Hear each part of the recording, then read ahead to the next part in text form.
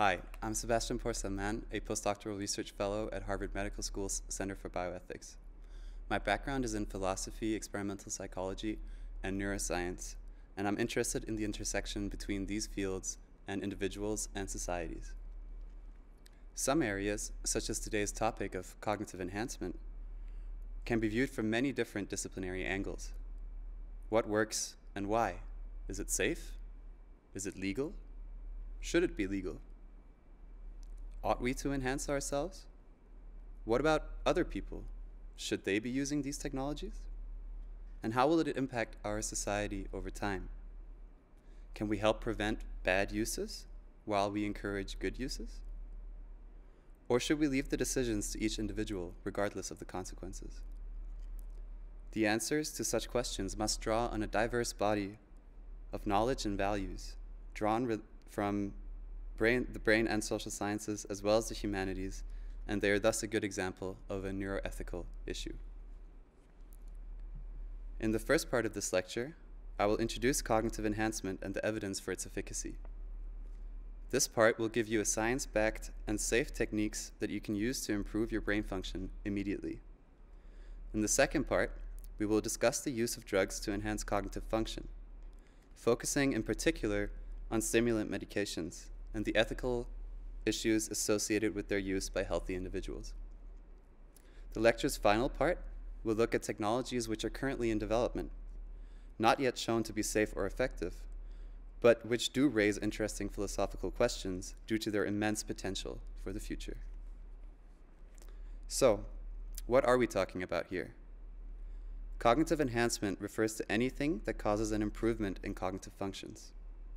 There are three main categories of cognitive enhancers lifestyle changes, drugs, and technologies. Before we begin by discussing the evidence behind these methods, let us consider what we mean by the terms cognition and enhancement. Cognition is a general term for the mental processes by which we perceive, understand, and engage with the world. Cognition is thought to be composed of several different functions, for example, to benefit from this lecture, you must first engage your attention, which enables you to focus on the information presented and filter out other currently irrelevant data like your email and Facebook notifications. Next, to make sense of the information selected by attention, which in our example is this sentence, you have to keep track of the relation between consecutive words and slides and integrate these into a meaningful, coherent whole using your working memory. To make use of this information later, you have to be able to retrieve it, and for this to happen, it must first be stored in your long-term memory. Finally, you can plan to make use of this information in the future by engaging your executive functions, which, beyond planning, is also used to refer to the abilities to organize, manage time, and keep track of several concurrent tasks. Like executive functions, these cognitive functions can themselves be split into subcomponents. Memory, for example, is often partitioned into subdomains of verbal, spatial, and episodic memory. Cognitive enhancers are aimed at improving all or some of these functions. In practice, cognitive enhancement strategies often have varying effects on different cognitive functions. Similarly, it is possible to have specific deficits in some, but not other cognitive functions, as is often the case in traumatic brain injury or neurodegenerative diseases. For example, damage to the frontal lobes, in this case caused by a tumor, may lead to difficulties with planning, organization, and impulse inhibition, all of which are executive functions. On the other hand, damage to the temporal lobes can cause selective impairments in memory functions. A famous example of this is patient HM, now known after his death to be Henry Molaison, who had a bilateral medial temporal lobectomy, which resulted in the removal of two thirds of his hippocampi, as well as large portions of surrounding brain tissue. Henry was an anterograde amnesiac and was unable to form declarative memories after his operation, living perpetually in the moment, though he retained much of his memory of what had happened before the operation. The term enhancement is actually quite contentious to define. it can be used broadly to refer to any improvements in cognitive functions above the level enjoyed previous to the use of the enhancement. Alternatively, it can be used narrowly to refer to improvements beyond normal levels, where normal indicates standards for humans generally or for the particular person involved. The reason this distinction is important is because it may have consequences for how we regulate access to cognitive enhancers. Many people believe that enhancements, in the narrow sense of improving function beyond normal levels, is not an appropriate goal of medicine. On this view, medicine is concerned specifically with therapy, that is, the restoration of previous healthy functioning, rather than with enhancement, that is, improvements beyond the previous level. In this lecture, we will use the broad definition and examine the ethics and efficacy of, of proposed methods for the improvement of cognitive function at any level. So, what are these cognitive enhancers, and is there any evidence that they work? The strongest evidence for cognitive enhancements to date are found in studies of the cognitive impact of lifestyle factors. For example, sleep deprivation, inadequate sleep quality, or disturbed sleep patterns severely affect cognitive functions, especially sustained attention or vigilance. One study found that moderate sleep deprivation can lead to a reduction of up to 50% in performance in some cognitive tests, which is comparable to the cognitive effects of severe alcohol intoxication. On average, cognitive impairment is seen in those who sleep an average of six hours a night, as compared to those getting the recommended seven to nine hours. A recent meta analysis estimated the effect of sleep restriction on various cognitive functions, though it must be noted that the 61 included studies varied widely in design and quality. The effect sizes on various tests of cognitive functions can be seen in the third most left-hand column under the heading G. Interestingly, there are also deficits among those who sleep too long, that is, those who get an average of 10 hours or more of sleep per night. Those who sleep too long or too little are also at a greatly increased risk of dementia and cognitive impairment. If you belong to one of these categories, and if you suffer from daytime sleepiness, Modifying your sleep patterns to achieve seven to nine hours of sleep regularly per night is one of the safest and the most effective cognitive enhancement strategies available. Similarly, naps have been shown to improve cognition. Longer naps lead to longer lasting improvements, and it appears that the afternoon is a particularly effective time to nap. The improved efficiency associated with optimal sleep patterns often makes up for the time lost in sleeping longer. For example, it has been shown that adolescents perform better when they start school later and thus get more sleep, even when the additional time is not added to the end of the school day. In this case, less really is more. Physical exercise is another highly effective cognitive enhancement strategy. Although the scientific evidence for its efficacy is relatively recent, the relationship between exercise and cognition has been recognized at least since the time of Socrates. There is a great story written by the contemporary dramatist Xenophon, in which Socrates comes across an out of shape acquaintance. You look as if you need some exercise, Epigenes, says the great philosopher. Well, I'm not an athlete, Socrates, comes the reply. This seems to strike a chord, for Socrates answers In everything that men do, the body is useful, and in all uses of the body, it is of great importance to be in as high a state of physical efficiency as possible. Why? Even in the process of thinking, in which the use of the body seems to be reduced to a minimum, it is a matter of common knowledge that grave mistakes may often be traced to bad health. And because the body is in a bad condition, loss of memory, depression, discontent, insanity often assail the mind so violently as to drive whatever knowledge it contains clean out of it. But a sound and healthy body is a strong protection to a man, and it is likely that a sound condition will serve to produce the effects the opposite of those that arise from bad condition. Besides, it is a disgrace to grow old through sheer carelessness before seeing what manner of man you may become by developing your bodily strength and beauty to their highest limit.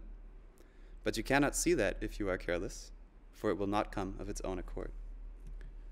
Socrates was a war hero, acting as a hoplite in the Athenian army and being distinguished for great bravery. But he was not the only great philosopher to have noted the importance of exercise. His most famous pupil, Plato, whose name literally means broad in ancient Greek, was a two time champion wrestler at the Isthmian Games, the qualifying rounds for the Olympics. More recently, physical exercise has been shown to improve global cognition as well as nearly all of the individual cognitive functions across all age groups studied. This slide shows an excerpt of a collection of systematic reviews and meta-analyses from a database I am compiling for a book on the subject. The effect size of physical exercise is similarly impressive as that seen in sleep-deprived individuals switching to optimal sleep patterns. In addition, epidemiological studies indicate that those who exercise have much reduced risk for dementia and cognitive impairment.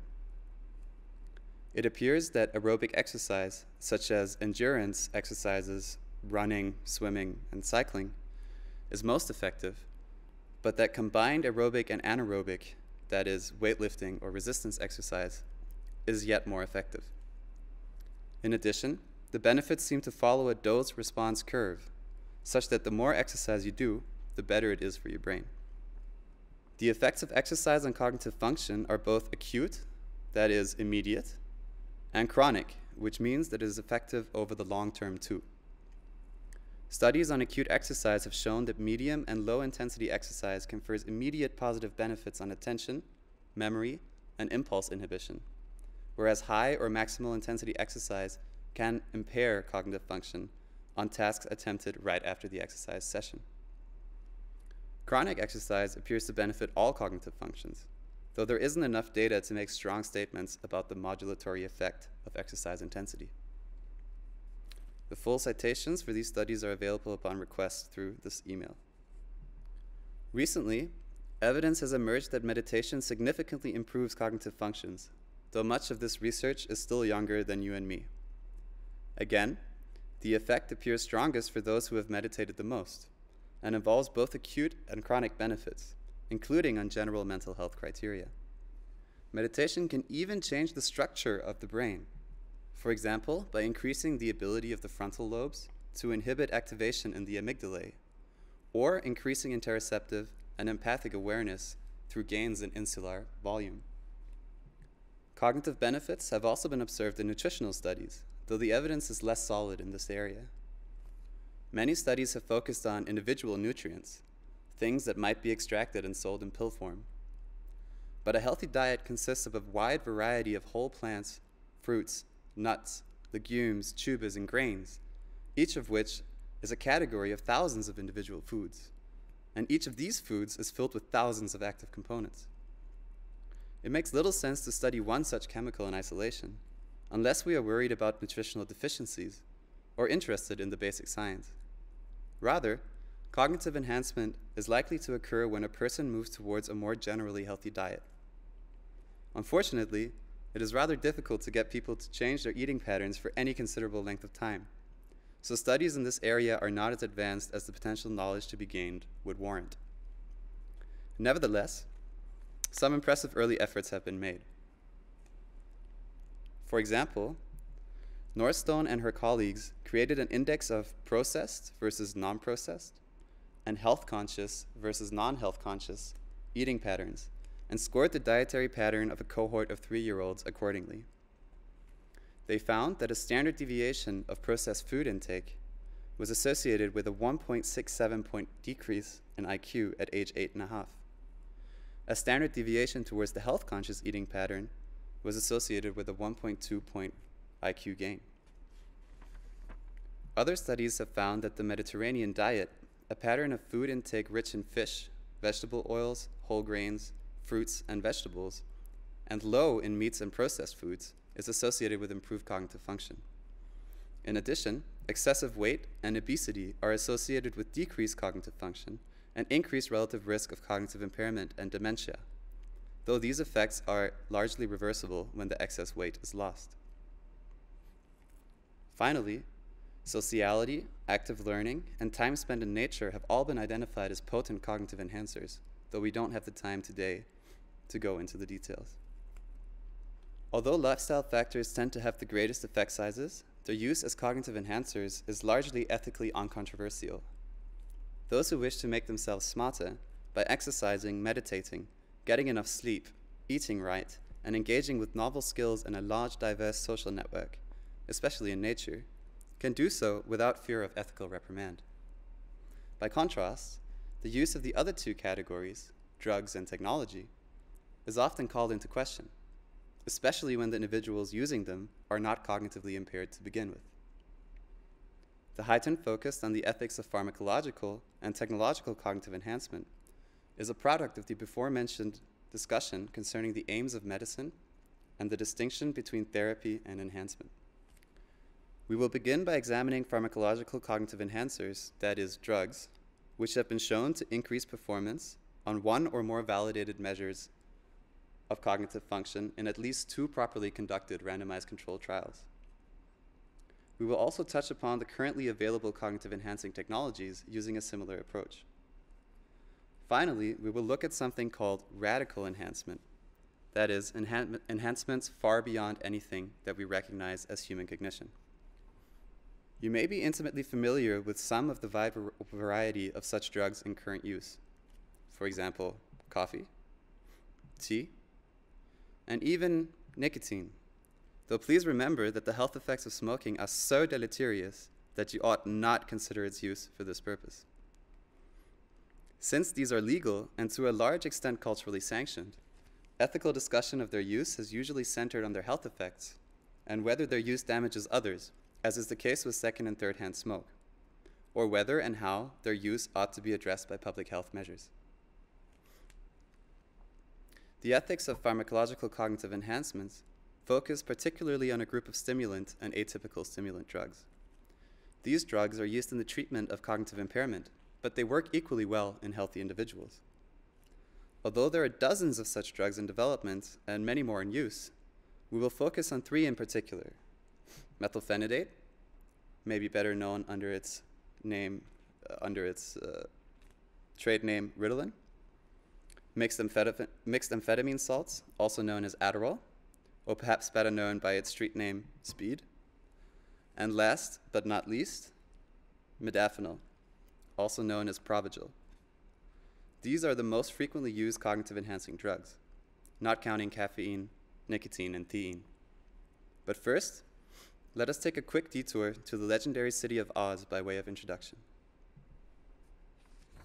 And I quote Upon a river which wound through the grounds, several crews and racing boats were rowing with great enthusiasm.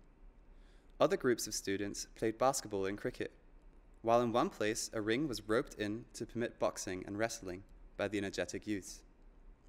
All the collegians seemed busy, and there was much laughter and shouting. This college, said Professor Wogglebug complacently, is a great success. Its educational value is undisputed, and we are turning out so many great and valuable citizens every year. But when do they study? asked Dorothy. Study, said the Wogglebug, looking perplexed at the question. Yes, when do they get their arithmetic and geography and such things? Oh, they take doses of those every night and morning, was the reply. What do you mean by doses? Dorothy inquired, wonderingly. Why, we use the newly invented school pills, made by your friend the wizard. These pills we have found to be very effective, and they save a lot of time. Please step this way, and I will show you our laboratory of learning. He led them to a room in the building where many large bottles were standing in rows upon shelves. These are the algebra pills, said the professor, taking down one of the bottles one at night on retiring is equal to four hours of study. Here are the geography pills, one at night and one in the morning. In this next bottle are the Latin pills, one three times a day. Then we have the grammar pills, one before each meal, and the spelling pills, which are taken whenever needed. Your scholars must have to take a lot of pills, remarked Dorothy, thoughtfully. How do they take them? With applesauce? No, my dear. They are sugar coated and are quickly and easily swallowed. I believe the students would rather take the pills than study, and certainly the pills are a more effective method.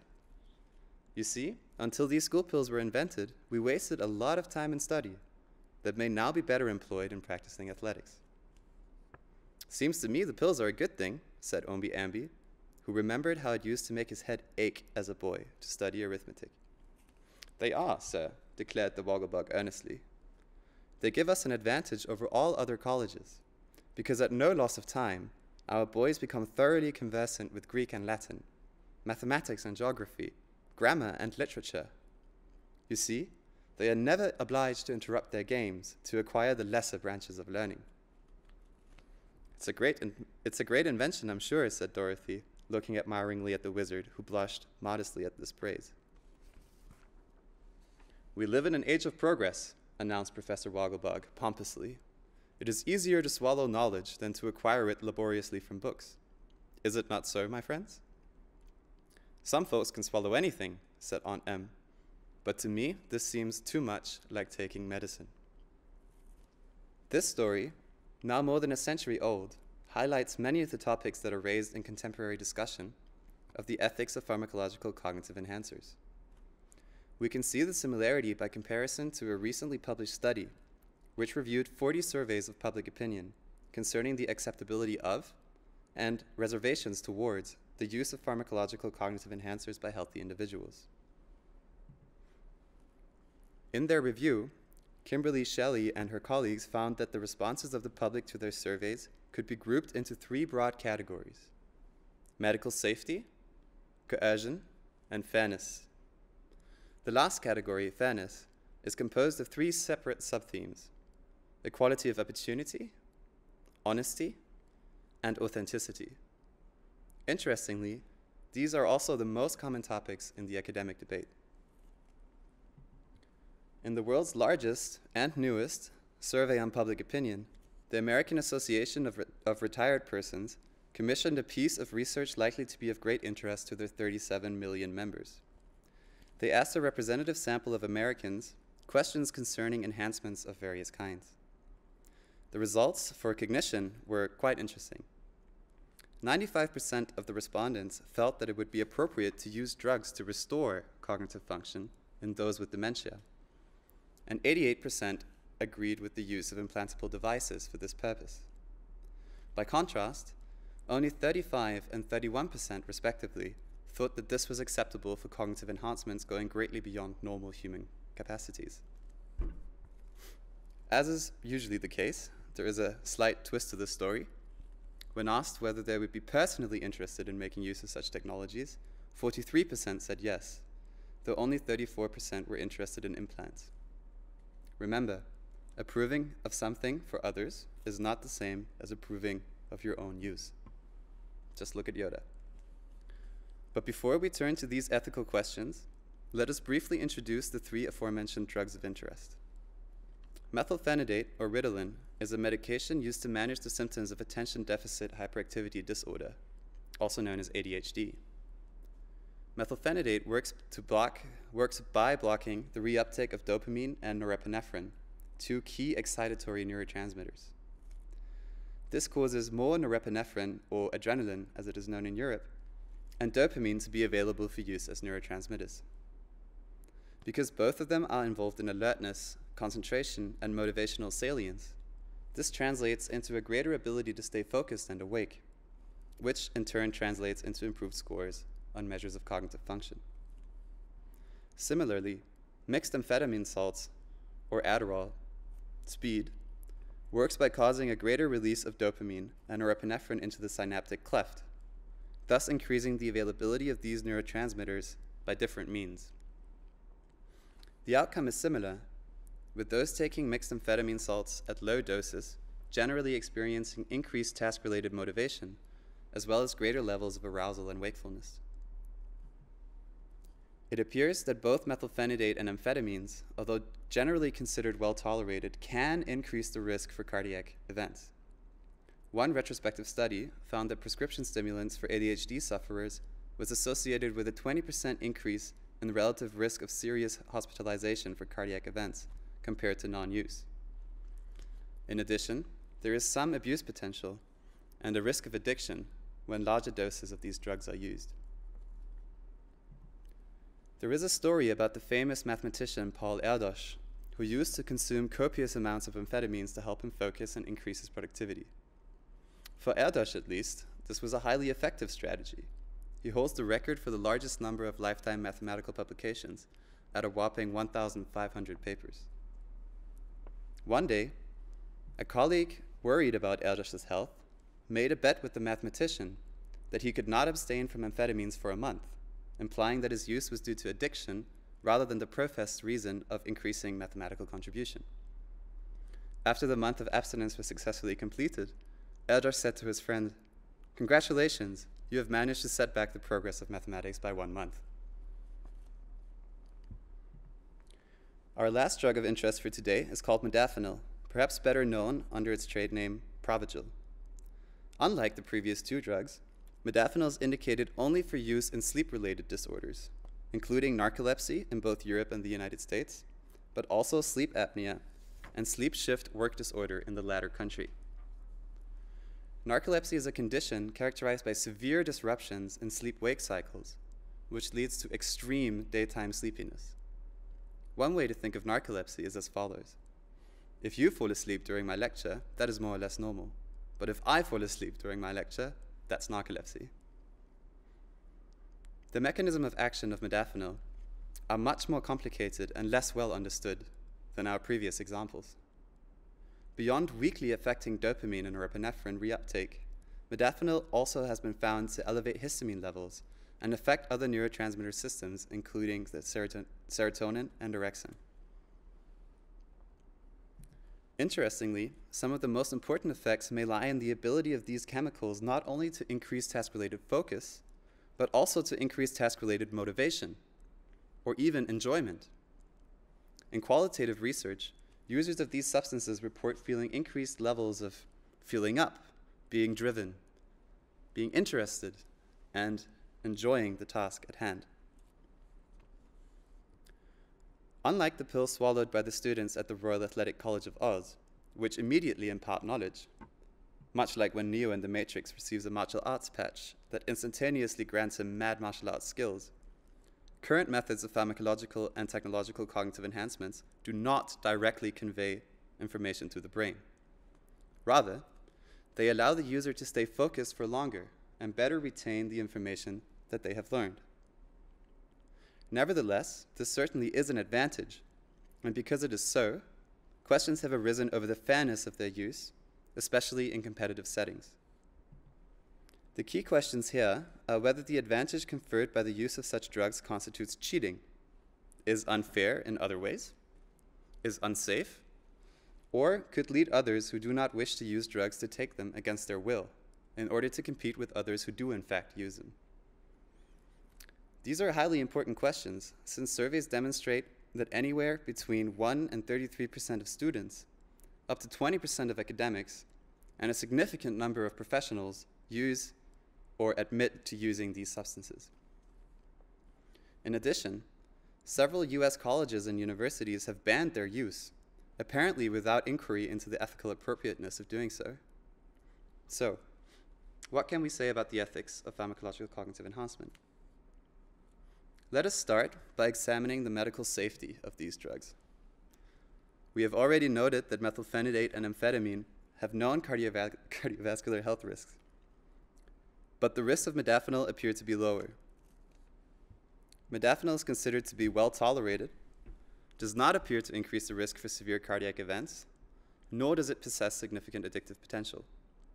However, there are at least five cases of Stevens-Johnson syndrome a very severe skin condition, and a single case of death due to multi organ hypersensitivity, the only such case, to my knowledge, that have been reported. To give you an idea of the exact medical risks involved, let us consider a study by Carstairs and his colleagues, in which the authors retrospectively examined all modafinil overdoses with follow up to known outcome reported to the California Poison Control System over a decade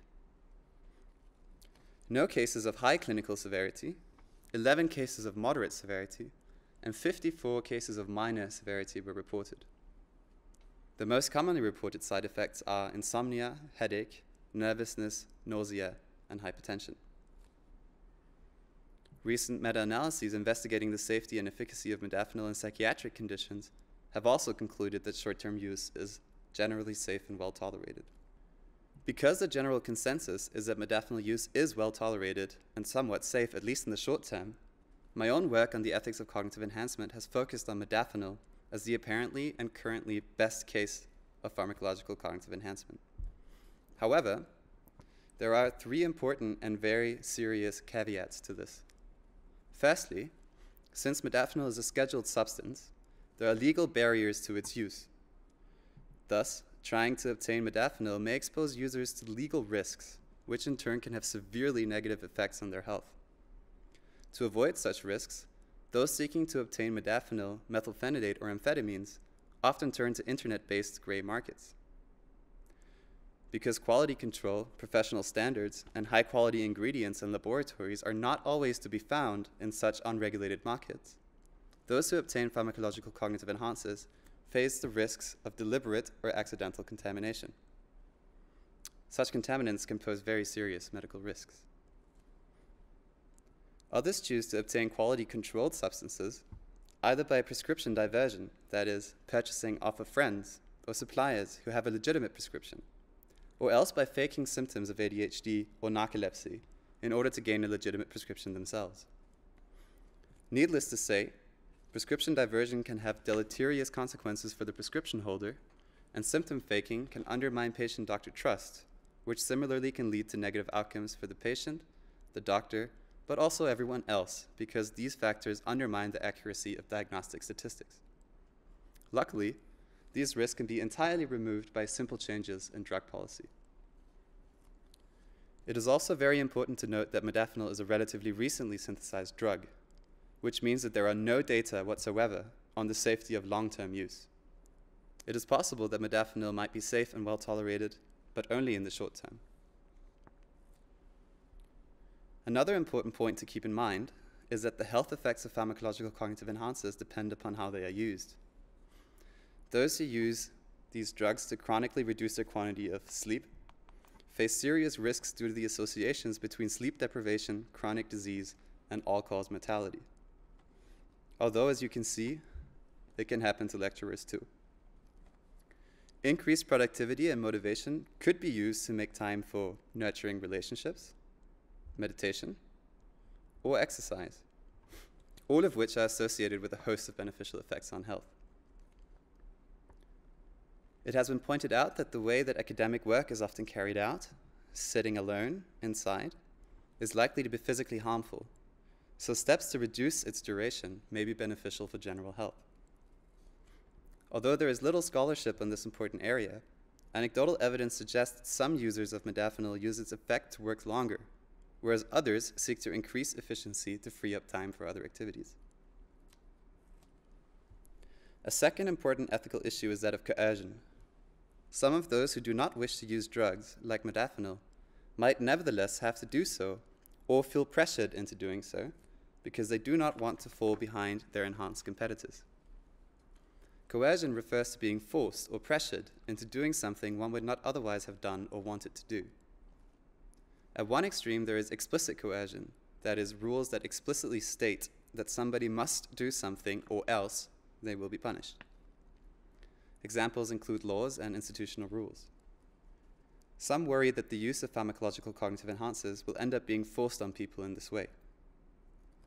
At the other extreme, indirect coercion does not involve explicit statement of rules, but can nevertheless exert as strong a force on a person to act against their wishes. There might be no rules obliging a person to take, say, modafinil, but indirectly, they might feel pressured into doing so simply to catch up or keep up with their colleagues. The coercion here arises indirectly from the undesirability of the alternative. In a recent survey, students stated that they would in fact be more willing to take a hypothetical cognitively enhancing drug if half or all of their peers were using it, relative to a condition in which few or none were. In general, respondents in qualitative studies have indicated that pharmacological cognitive enhancing drug use should be an autonomous choice.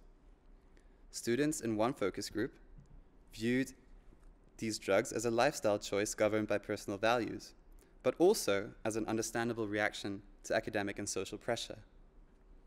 The tension between these two views could lead some to take drugs in order to cope with academic or social pressure, even if, absent such pressure, they would not want to take these substances.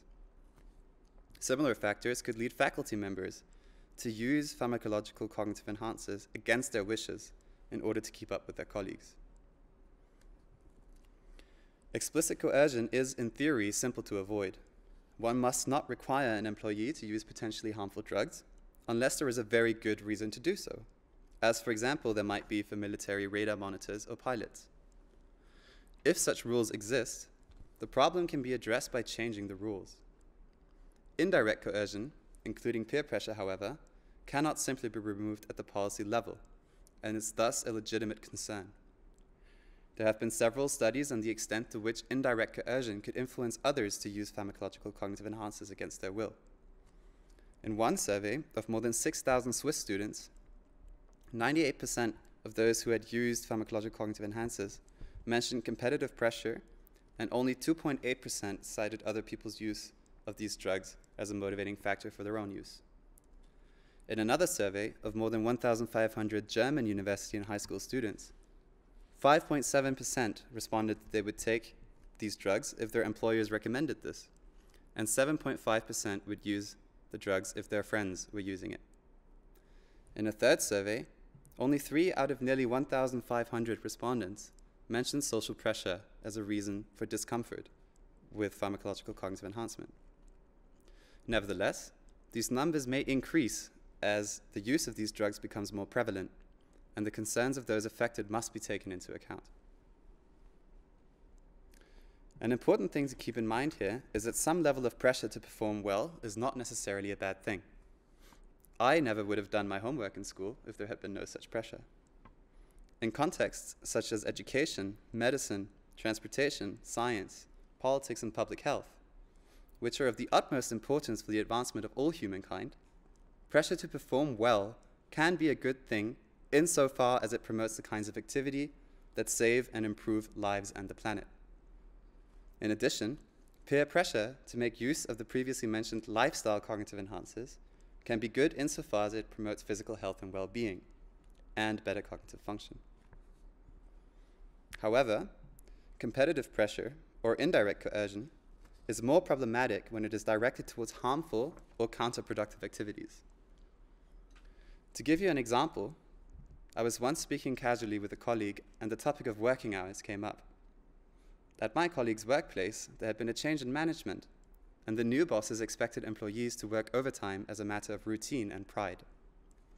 This meant that many employees faced a difficult decision of giving up something very precious to them, such as sleep, time with their families, or friends, or hobbies, or else losing out relative to those who were willing to sacrifice their free time. As the level of danger or harm involved rises, the ethical problem of coercion becomes correspondingly weightier. Since the weight of this concern will vary by the type of drug used, we can't make any blanket statements about pharmacological cognitive enhancers as a whole. Rather, we need to examine their risks on a drug by drug basis. Coercion is problematic because it undermines the ability of individuals to choose for themselves or in other words, it does not respect the individual's autonomy. This is an important point because placing limits on the type of cognitive enhancers individuals may use is itself strongly coercive. Therefore, it requires very strong justification. In the case of modafinil, the health risks appear not to be so severe as to justify a ban on paternalistic grounds. The side effects of modafinil are comparable to or less than many things we would not wish to ban, for example, high levels of caffeine consumption, or the use of nonsteroidal anti inflammatory drugs such as aspirin. But some ethical questions remain even for safe and effective pharmacological cognitive enhancers. These involve questions of equality of opportunity and more metaphysical concerns, such as the effects of enhancement on personal identity, the work ethic, and enhanced individuals might be seen uh, enhanced individuals might be seen as less authentically the creators of their own work, or even as cheating others by using these pills. As mentioned above, access to pharmacological cognitive enhancers is limited to those who have a prescription, or are able to fake one or get some off prescription holders, or those who are willing to deal in the grey and black markets. These are surely problems of inequitable distribution. However, an informal search reveals that modafinil pills, to take one example, are not more expensive than a cup of coffee, at least when ordered in its generic form from an online pharmacy. Although it is true that legal barriers are likely to disproportionately impact the poor, disadvantaged, and those of non Caucasian ethnicity due to well known issues of structural racism and law enforcement, these barriers to access are also addressable by changes in public policy. Perhaps more importantly, there is some evidence to suggest that the benefits of pharmacological cognitive enhancers are even greater for those who need them the most. Some studies have found a greater effect of modafinil and methylphenidate in lower IQ participants. Those starting from a lower baseline of dopamine and noradrenaline may experience more of an effect from modafinil, whereas those that start from a high baseline may have less to gain. If this is the case, broad access to modafinil and similar drugs could lead to less inequality in cognitive capacity. In addition, Qualitative work has found that students who have the greatest problems with exam anxiety and procrastination are also the ones most likely to use pharmacological cognitive enhancers. Some of these students might rely on these drugs to finish their education. At any rate, fair access is more easily achieved in the case of cognitive enhancement by modafinil than in cases of cognitive enhancement by private tutors, expensive private schools, after school activities, or the luxury to have enough time to attend to enhancement by habits such as meditation and physical exercise. If we do not wish to ban these practices on the grounds of inequality of access, we would be inconsistent in doing so for modafinil and drugs alone. Another worry is that the use of pharmacological cognitive enhancement is inauthentic. In this vein, the 2003 President's Council on Bioethics, chaired by Leon Kass, argued that excellence achieved through the use of drugs is, quote, cheap, by way of obviating the need for hard work and study, and not fully authentic because the excellence is partly attributable to the drug rather than to the individual. Correct attribution of merit is of the utmost importance in academia and many professional fields because it is a standard against which promotions, tenure track positions, prizes, awards, and other accolades are judged. Michael Sandel argues a similar point in a different context. As the role of enhancement increases, our admiration for the achievement fades, he says. Or rather, our admiration for the achievement shifts from the player to his pharmacist. We can understand these sentiments in many cases. For example, we would not take kindly to a member of the Royal Athletic College of Oz boasting about their detailed Latin knowledge. But imagine instead that the students at that college use their enhanced abilities to make new and greater discoveries, protecting themselves and others against death and decline. We might not praise them for the mastery of Latin, but surely they deserve recognition for using their skills in a way that advances learning and benefits their society. This last point brings us to an important question which has been much neglected in debates over the ethics of cognitive enhancement. Many people carry out work or hold responsibilities that directly affect the lives of others. Examples include politicians, soldiers, doctors, teachers, academics, judges, juries, scientists, engineers, air traffic controllers, pilots, and perhaps many others. Do people in these and related professions not have a professional duty to enhance their capacities? For example, the first line of the Hippocratic Oath is primum non nocere. First, do no harm. Yet many doctors, especially junior ones, work such intense hours that it is not physically possible for them to get seven hours of sleep, as well as carry on a healthy lifestyle. This means that doctors are often carrying out their duties under conditions that have a similar impact on their cognitive functions as several alcoholic beverages. Knowing this, would you willingly consent to being operated upon by a surgeon who has been called in after a 24 hour night shift or is similarly impaired in other preventable ways?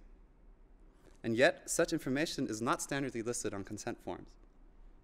Similar remarks may be made for political figures, police officers, teachers, and any other professionals whose cognitive prowess severely affects the life of others. We have focused on the ethics of pharmacological cognitive enhancers because the evidence for their safety and efficacy is relatively well established. Research into cognitively enhancing technologies is still in its infancy, but it is worth mentioning quickly some promising candidates. Transcranial direct current stimulation, or TDCS, is a technique in which a device is used to deliver a targeted electrical current to a specific brain region. Since an important part of neural communication uses electrical signals, the idea is that artificially stimulating certain brain regions could increase the effectiveness of neural communication. Since neurons that fire together wire together, as Donald Hebb famously wrote, this could, in theory, lead to stronger neural pathways in desirable areas, which in turn could enhance cognitive functions. Another technique, transcranial magnetic stimulation, or TMS, works on a similar principle. A large, powerful magnetic coil resembling an infinity loop is passed over the brain region of interest, thereby causing a change in the electromagnetic field and, it is hoped, increased neural activity of the right kind. Another potential for enhancement might involve physically intruding upon the brain. With the advent of CRISPR and Cas9 gene editing, future generations may benefit from manipulation of genes implicated in, in, cognitive function. It should be noted, however, that as of this lecture, there are zero candidate genes for such intervention. Or to be more precise, the genes that have been correlated with intelligence and cognitive function exert near negligible effects, and independent replication studies have had little success in validating even these disappointing findings. However, we know that intelligence as measured by IQ tests do have a heritable component. So future efforts involve involving more advanced genomics methods, especially in combination with other omics approaches, may be successful in identifying modifiable pathways for cognitive enhancement. Indeed, there are other technologies which may have tentative potential for such use. Deep brain stimulation, which involves the surgical implantation of an electrode to a targeted area of a patient's brain, is currently used to treat severe and otherwise intractable neurological and psychiatric conditions. The technology is extremely expensive and very dangerous, but it can also be highly effective. In the future, it may be possible to use deep brain stimulation to stimulate or dampen activity in regions of the brain relevant for cognition. In a related vein, brain computer interfaces, or BCIs, is a group of technologies which enable their users to control an external object, usually a computer or a robotic limb, using their thoughts alone. One example of a BCI in current use enables patients with locked in syndrome, that is, total paralysis but largely intact cognition, to control a speech output program by thinking of a specific area or activity. The pattern of neural activation associated with this thought is recorded by electroencephalography embedded in a helmet and then translated into a command. Although these are already amazing feats of technology, the concept may well be extended in the future to allow for more rapid or parallel computations in healthy brains, with obvious potential for enhancement of cognitive functions. Intriguingly, such machines might also be used actively.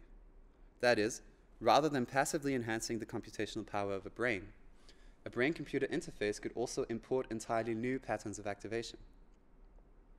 To take a benign example, Imagine a world class surgeon monitoring a particularly difficult surgery happening halfway across the world. Now imagine that this surgeon spots a potentially fatal error in the making. It is not inconceivable that she would have the power to override, inhibit, or directly change the activation pattern of the other surgeon about to make an error, such that disaster is avoided.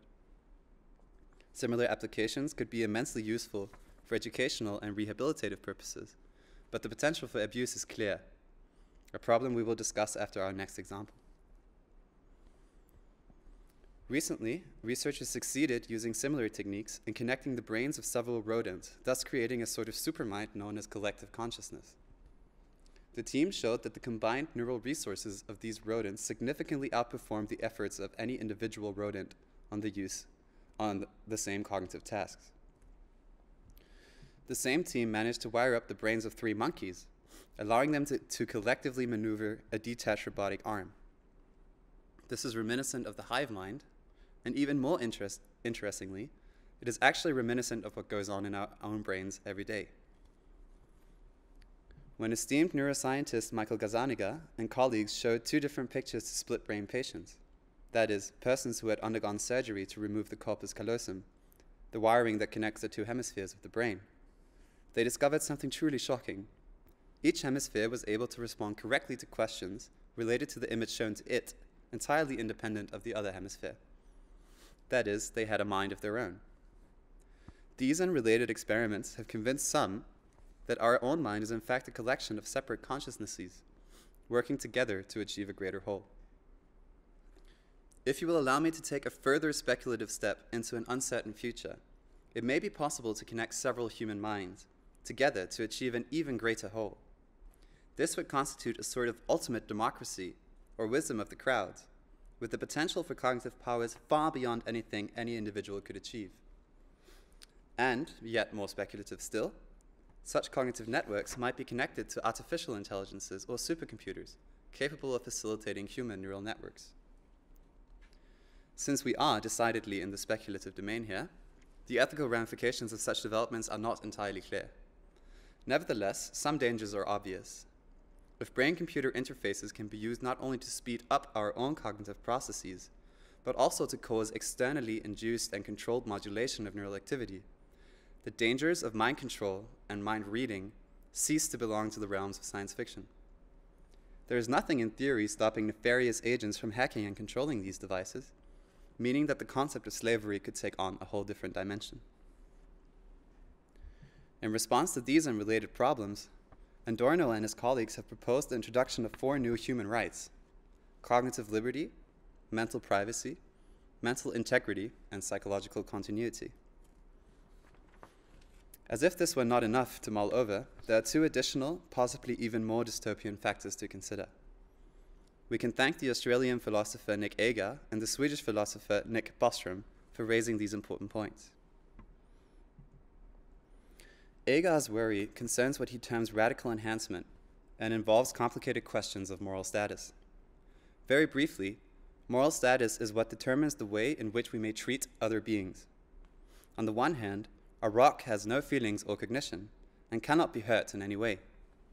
Therefore, we need have no moral qualms in treating a rock in any way we wish, provided that it doesn't belong to or is used to harm somebody else. At the other end of the extreme, human beings have full moral status, because it is possible to harm them in many ethically meaningful ways.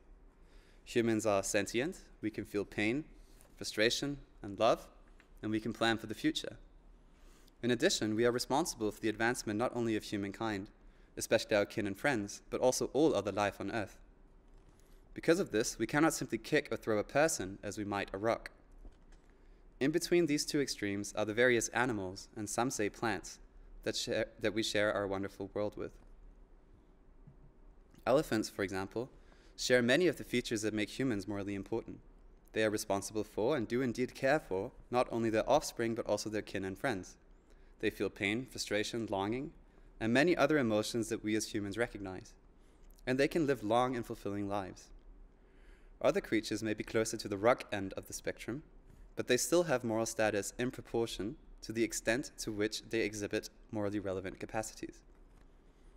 The question then arises of what happens when we tinker with or modulate such capacities. And doing so is not so far fetched as it might seem at first glance. In 2013, Steve Goldman's lab successfully enhanced the cognitive abilities of mice by engrafting human glial cells into their brains at an early stage of development. These mice outperformed their littermates on all cognitive tests given. The white arrows and the pictures point to fully integrated human glial cells in a mouse brain. Taking this line of thought to its logical conclusion, Agar asked what would happen to the moral status of beings so enhanced that they could no longer be compared to human levels. For simplicity, let's imagine a superhuman with off the scale IQ, unimpeachable empathic facility, and purity of motivation, with a massively extended lifespan. Under many theories of moral status, such a being would be as superior to species typical humans as we are to mice. Would such beings be justified in using species typical humans for scientific experiments? After all, The only reason we consider ourselves justified in using non human animals for agonizing and fatal experiments is that they have a lower moral status than us. After the slogan, if it has to be done, it had better be done to them. Agar calls this the problem of radical enhancement, and in the worst case, this problem might lead to several separate species or levels of humans, somewhat comparable to colonial age slavery or caste systems. Nick Bostrom has raised similar concerns in a different context. He worries that artificial intelligence, once sufficiently advanced, will obtain the power to radically enhance itself. This could lead to a similar subordination of species typical humans, that is, beings like us. In a related vein, we might wonder whether we have a duty to enhance the cognitive powers of non human entities. If we had the power to grant such things, would it not be cruel to withhold the advanced powers of thought, empathy, and understanding to other creatures, whether they are carbon or silicon based? Anyway, there is much food for thought here, and I hope that this lecture has helped you recognize some of the many nuances in the debate over cognitive enhancement. To recap, allow me to restate some of the major points, conclusions, and unresolved questions. There are many uncontroversial, ethically uncontroversial methods of cognitive enhancement, involving lifestyle changes which you can and ought to avail yourself of. You should be aware of the extent to which others, especially service providers, dependents, and loved ones, could benefit from these enhancements. Secondly, several drugs have been shown to be effective in enhancing cognitive functions in healthy individuals. Especially in the case of modafinil, the safety risks and other ethical considerations are not so severe as to justify a paternalistic ban on their use. How these drugs are used has important implications for the health effects and the effects of their use for other people. Thirdly, there are several technological means of cognitive enhancement in early stages of development. There is tentative evidence for the effectiveness of some of them, and it will be interesting to follow these developments. Very few data on their safety exist. Thank you for your attention.